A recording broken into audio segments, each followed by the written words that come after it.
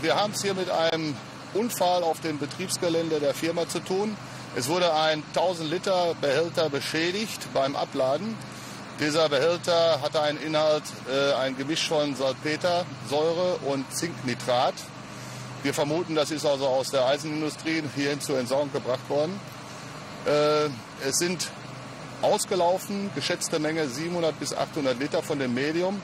Wir sind dabei, die kontaminierte Fläche großflächig mit Chemikalienbinder abzustreuen. Wir haben Kanaldichtkissen gesetzt.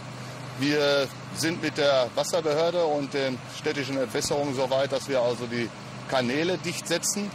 Äh, ja, Gefahr besteht in erster Linie natürlich für das Gewässer. Äh, diese Zinknitrat und die Säure ist also für Mikroben sehr schädlich.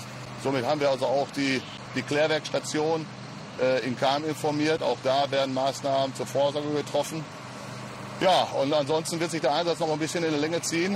Äh, ist jetzt eigentlich so ein Einsatz, der durch viele Kräfte unter Chemikalienschutzanzug bearbeitet werden muss. Und äh, eine Fachfirma ist von der unteren Wasserbehörde beauftragt worden mit der späteren Entsorgung. Ja, im schlimmsten Falle würde also unsere Kläranlage äh, das nicht verkraften und dementsprechend also ungeklärtes Wasser durchlassen. Das ist also im Grunde genommen so die Gefahr. Weitere Gefahren für Anwohner und Bevölkerung bestehen in erster Linie erstmal nicht.